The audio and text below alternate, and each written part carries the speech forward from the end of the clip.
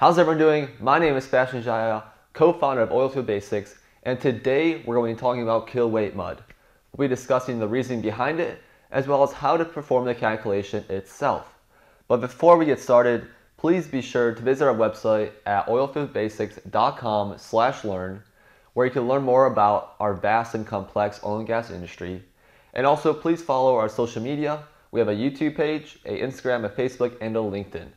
We're growing those social media pages uh, daily, so please be sure to follow follow those pages to stay up to date with what we're doing and upcoming videos and courses that will be coming on our website. So what is your kill weight mud and why is the equation so important? Well, your kill weight mud is a mud with a density high enough to produce a hydrostatic pressure at the point of influx or where your kick is coming into your wellbore that will be sufficient enough to shut in the well and basically kill the well.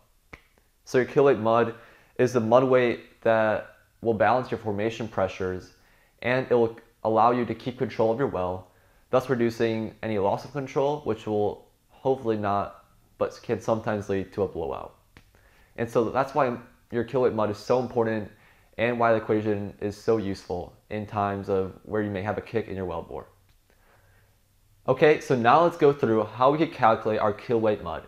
It's actually pretty simple. So your kill weight mud, or your KWM, will equal your mud weight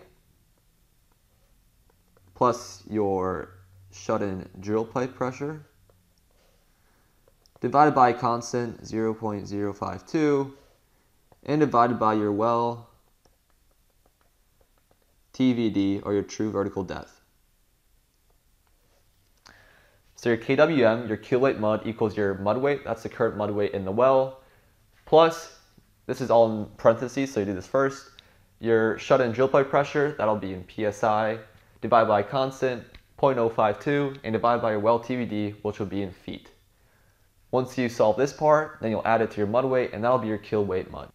All right, so now let's go through an example. Say you're drilling on 9.5 ppg, um, that's your mud weight, and you get a influx of formation fluids into your wellbore, and so you need to kill, you need to balance that formation pressure um, with your mud weight, and so you'll have to figure out what your drill shut-in drill pipe pressure is. So say in this case it is uh, 600 psi, and you'll divide that by your 0.052, and then you'll divide that by your well TVD. So let's say we're at 10,000 feet.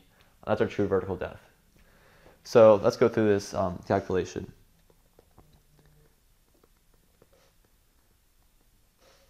So like I said, we'll be at 9.5. That'll be our PPG, will be our mud weight.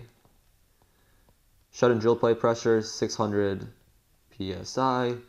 Divide that by 0.052 and divide that by 10,000 feet, which is our true vertical depth. And that'll equal 10.65. But here, we always round up to the nearest 10th decimal place. So in this case, what you'll want to use as your kill weight mud will be 10.7 ppg.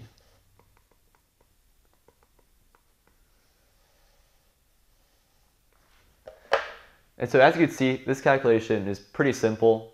There's not many variables you have to calculate or determine. And so this equation can save hundreds of lives, so it's very important. So with that being said, I hope you learned something new today, and thank you for your time.